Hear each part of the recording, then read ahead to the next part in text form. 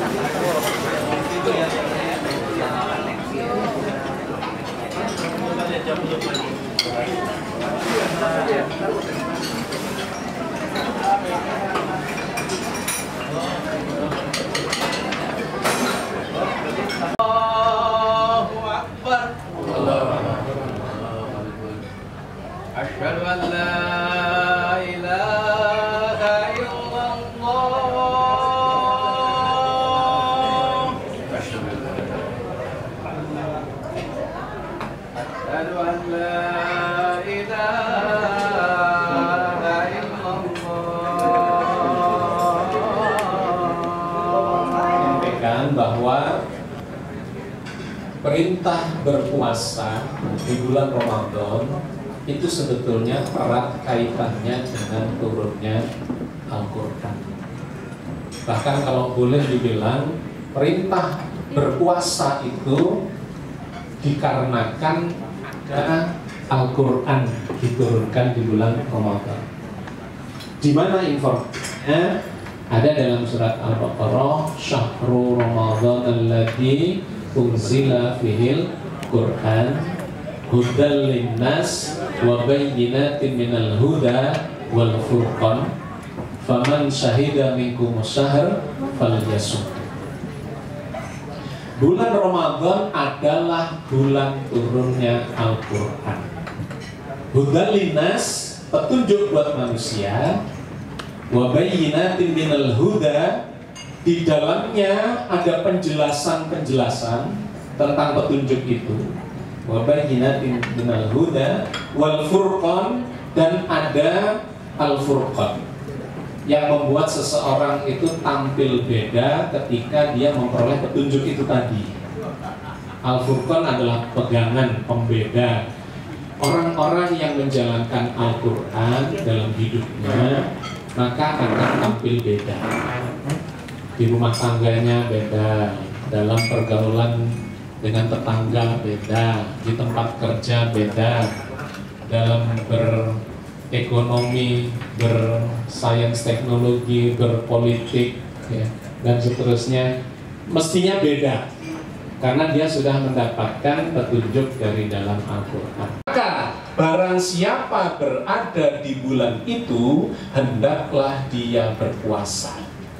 Jadi perintah berpuasa di bulan Ramadan itu sebetulnya dikarenakan ada turunnya Al-Quran di bulan itu.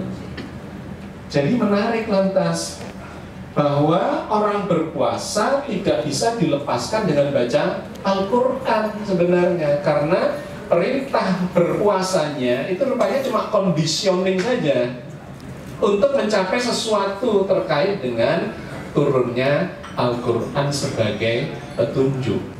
Oke, bagian akhir maka puasa Ramadan itu sebenarnya adalah jalan tasawuf sebenarnya ibadah puasa Ramadan berujung pada ketauhidan. Ketauhidan ujungnya.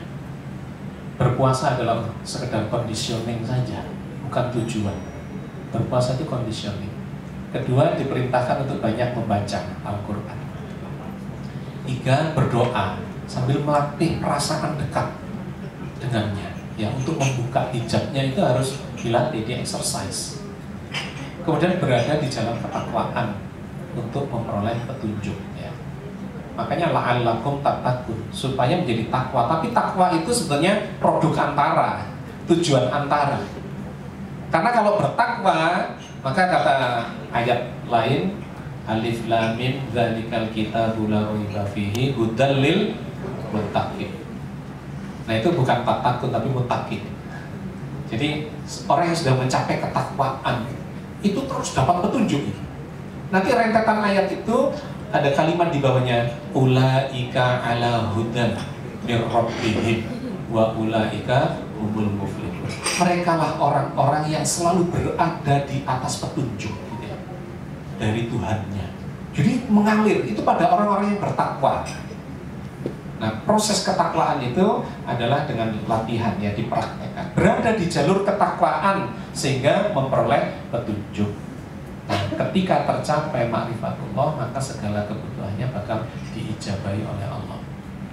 ketakwaan yang bu- bukan sekedar tak takut tapi uh, mutak sudah ya di derajat yang tinggi ketakwaannya. Maka orang-orang itu akan dijamin dengan segala macam. Uh, karena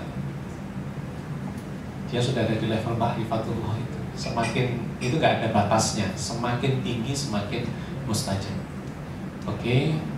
Maka bergema sampai di luar ibadahnya jalan tasawuf adalah proses memperbaiki akhlak yang berdampak pada perilaku sehari-hari dan kemudian menjadi karakter akhlak syahadat, akhlak sholat. Ini ini ini menjadi akhlak syahadat bukan sekedar membacaan tapi menjadi akhlak. Akhlak sholat, akhlak puasa, akhlak zakat, akhlak haji, akhlak zikir.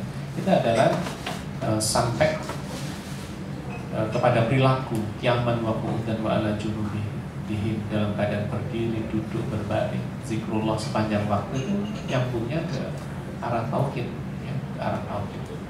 Ibadah yang bergema sampai di luar ibadah itu sendiri proses menjadi nafsu mutmainnah. Tasawuf adalah proses meningkatkan dan menyempurnakan kualitas diri menjadi jiwa yang sempurna dari nafsu hawa mesti ditundukkan dengan syariatnya. Ayatin syariat. Ini koridornya, jalannya dengan segala rambu-rambunya hawa nafsu. Nafsu amarah mesti dipahamkan dengan hakikat bahwa hakikat urusan duniawi ini cuma main-main. Maka harus dipahamkan hakikat kehidupan apa. Nafsu lawama dilatih dengan tarikat. Orang yang sudah mengalami penyesalan-penyesalan itu harus diajak bertarikat. Ayo jalani lebih banyak zikirnya lebih banyak sholatnya baca Qurannya berbuat kebajikan kedermawanannya dan sebagainya. Dilatih dengan tarikat maka puncaknya akan berada di nafsu mutmainnah mencapai kondisi ma'rifat itu yang dikatakan Al-Quran orang kalau sudah di nafsu mutmainnah Masya Allah ya. Apa yang dikatakan Allah? Ridho Allah menjadi puncak jalan tasawuf. Ya ayat Tuhan nafsul mutmainnah. Irji'i ila rabbiki radiyatan mardiyah Fadkhuli fi ibadi wa dakhuli jannati. Wahai jiwa yang mutmainnah Jiwa yang tenang, yang damai Yang sudah selesai dengan masalah-masalah ya Yang remeh-temeh itu gitu kembalilah kepada Tuhanmu dengan hati yang ridho lagi diridhoinya. Masuklah ke dalam jamaah hamba-hambaku atau golongan hamba-hambaku dan masuklah ke dalam surgaku. Jadi Bapak Ibu sebenarnya proses seluruh proses spiritual kita itu menuju ke sini. Kita berharap menjadi nafsu yang mutmainnah itu yang pada saat meninggalnya tidak dicabut ya, nyawanya tetapi uh, tetapi diundang oleh Allah. Ya ayat Tuhan nafsu mutmainnah irji'i ila rabbiki radiyatan mardiyah kembalilah kepada Allah dengan ridho dengan puas dengan rela dengan ikhlas dan diridhoi oleh Allah. Bapak dan Ibu sekalian saya kira ini yang ingin saya sampaikan dalam kesempatan ini.